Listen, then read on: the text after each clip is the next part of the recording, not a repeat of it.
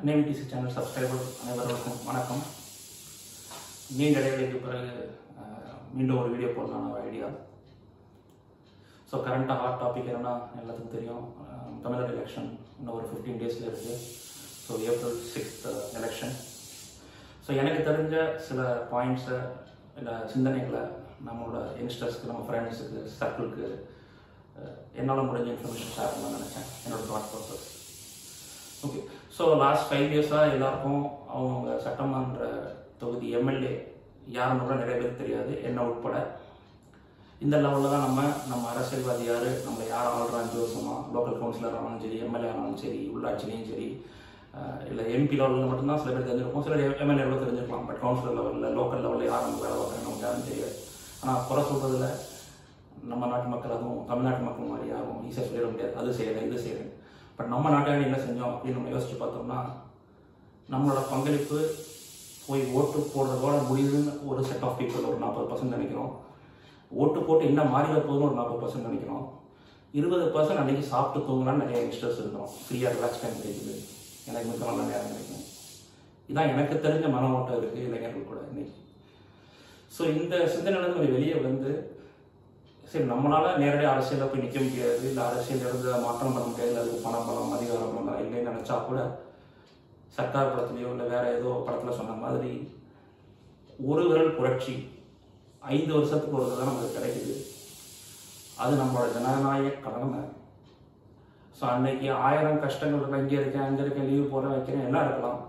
அன்னைக்கு ஒரு நாள் நம்மளால் முடிஞ்ச அளவுக்கு ஒரு ஒரு மணி நேரமோ ரெண்டு மணி நேரமோ லைனில் நின்று நம்ம ஓட்டை யாராவது ஒருத்தர் நான் இந்த கட்சி அந்த கட்சின்னு சொல்கிறேன் யாராவது ஒரு கட்சி கண்டிப்பாக போட்டாகும் இல்லைன்னா நம்ம பேரை வச்சு கண்டிப்பாக அது கள்ள ஓட்டாக மாறுறதுக்கு நிறைய சந்தர்ப்பங்கள் சாத்தியக்கூறுகள் இருக்குது ரெண்டாவது பாயிண்ட் நான் சொன்ன மாதிரி என்னை உட்பட ஐம்பது சதவீதத்துக்கு மேலே நம்மளை யார் ஆள்றா எந்த கட்சி சார்பாக நம்ம இங்கே நிற்கிறாங்கன்றது யாருமே தெரியாது. ஸோ ஃபிஃப்டீன் டேஸ் இருக்குது நம்ம அம்மா அப்பா நம்ம தாத்தா பாட்டிட்ட கேட்டு இந்த தொகுதியில் யார் ரெண்டா? நமக்கு தேவையான ஒன்று ரெண்டா செஞ்சுருக்காங்களா? நான் எல்லாமே சொல்ல ஒரு பத்து இருக்கா ஒரு நாலு செஞ்சுருக்காங்களா இந்த வருஷத்துல? கேட்டு பாருங்க. அவங்க திருப்பி நிற்கிறாங்களா ஏதோ செஞ்சுருக்காங்களா? வாய்ப்பு கொடுக்கலாம் உங்க மனசுல உள்ளுணர்வு சொன்னா அதுக்கு சரின்னு சொல்லுங்க. இல்லையா? வரப்போற தேர்தல் நிற்கிறவங்க அஞ்சு பேர் ஆறு பேர் நிற்பாங்க பத்து பேர் நிற்கலாம் ஒரு கான்ஸ்டியூன்சில ஒரு எம்எல்ஏ தொகுதியில். அதில் யார் படித்தவங்க யார் உங்கள் காதால் இல்லை கண்ணால் நீங்கள் பார்த்து நல்லது செஞ்சுருக்காங்க? யோசிச்சு பாருங்க. அது எந்த கட்சினாலும் சரிதான். பத்து பதினஞ்சு கட்சி இருக்கு. இந்த கட்சி அந்த கட்சி நான் இன்னைக்கு நான் சொல்லலை. உங்க மனசுக்கு உள்ளுணர்வுக்கு எந்த கட்சி எந்த எம்எல்ஏ அந்த தொகுதிக்கு நின்றா உங்க வீட்டுக்கும் உங்க தெருவுக்கும் உங்க தொகுதிக்கும் நல்லது நடக்கும்னு சொல்லி இளைஞர்கள் நீங்க நினைங்க. உங்க அப்பா அம்மா உங்களோட தாத்தா பாட்டிகளை நீங்க அறிவுரை கொடுங்க. ஜாதி ஓட்டு வேணாம் கழக ஓட்டு வேணாம் காங்கிரஸ் ஓட்டு வேணாம் இந்த ஓட்டு அந்த ஓட்டு வேணாம்.